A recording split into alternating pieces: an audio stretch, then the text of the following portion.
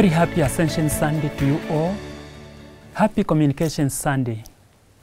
Today is the day on which we celebrate Jesus' return to his Father to sit at his right hand and assume his authority as King of the universe and of the earth. It is also the day on which we celebrate Communication Sunday. Today is the 54th Communication Sunday from ever since the church started celebrating this event.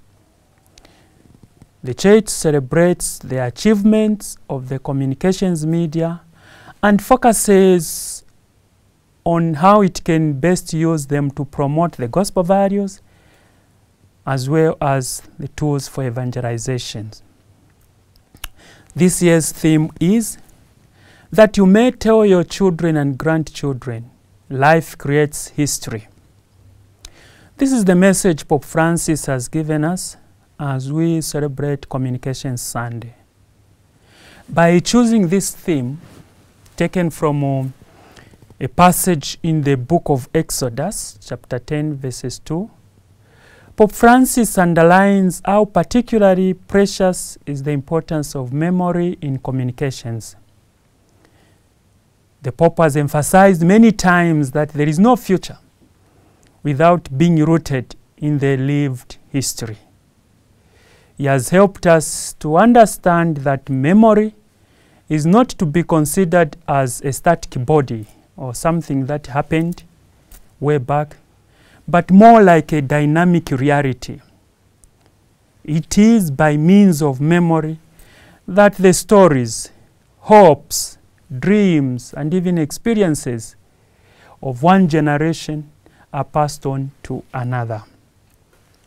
Because stories are woven into our identities, Pope Francis writes in his message that so as not to lose our bearings, we need to make our own the truth contained in good stories. Stories that build up, not stories that tear down. Stories that help us rediscover our roots and the strength needed to move forward together. In addition, in today's theme, we are reminded that every story is born out of life. Every story is born out of every life from interacting with others. Communication is therefore called to connect memory with life through stories. Jesus resorted to stories, parables, in order to communicate the vital message of the kingdom of God, leaving his audience free to welcome these narratives and to apply them in their own lives. The ability to generate change expresses how powerful a story is. In other words, when a person listens to, the, to that story that you share, it evokes a certain kind of reaction and a certain kind of acceptance and a resolve to do something about one's life. An exemplary story who possess a transformative power. We experience this when we turn to the lives of our saints. Those stories we hear about our saints. The center of this year's message is the person and his or her relationship and innate ability to communicate. As Pope Francis has asked each and every one of us, is that no one should be excluded to make this talent bear fruit. Of what? Of communicating our past history, our past stories. And that we can make communication as an instrument with which we can build bridges, we can unite, and we can share the beauty of being brothers and sisters in a moment of history that is marked by usually division and discord. We can turn to sacred scripture and look at this, the scripture which is considered as the story of stories. And it's from these stories that we experience God speaking to us. According to Pope Francis, the Bible is not a closed story. It is the Word of God speaking to us today. Listening to what happened to the people of Israel, listen to what was proclaimed does not make that irrelevant today. And that's why the scriptures, the stories that we read, they always ask us to live our present time with God's grace. We may ask ourselves, especially those who work in the media, immersed in the daily flow of news, called every day to select stories that we want to publish. When do we switch from important communication to life giving storytelling? Is it not when we give a story a positive dynamism, a perspective that challenges our experiences that we face the truth?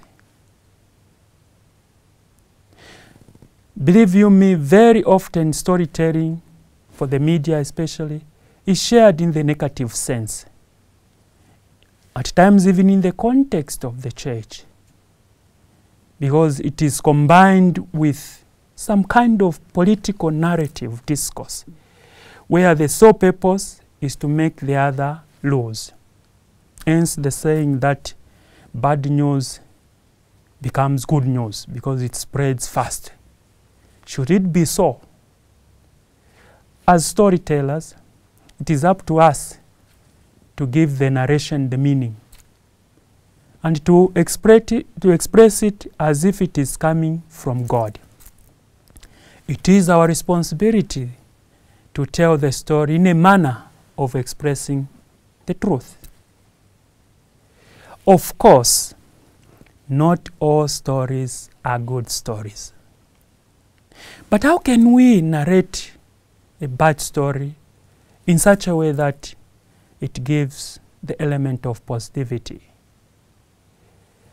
According to Pope Francis, if bad, or we can call it evil stories, are narrated in order to fight the very evil, the existence of evil in society, or for others to learn from those stories, then it becomes relevant to share it. But if we weave ourselves in the evil itself, to an extent that it sounds as if we are promoting evil, then that story becomes irrelevant. And it weakens and ultimately destroy the threads of coexistence. Therefore, as we narrate our stories, be it in media or in society, our stories, our experiences will be a book that the future generation will be reading. And in that case, we need to share those stories that will build a future generation. Like the stories in the scriptures, may our stories be those that carry with them good messages, the messages of hope, the messages of unity, the messages of reconciliation, the messages of peace, and the messages of love. O God, whose word is truth and in whose light we see light, guide those who tell the story of our times through word and image. Make them seekers after truth and advocates of human dignity. Grant discernment to all who rely on their labors.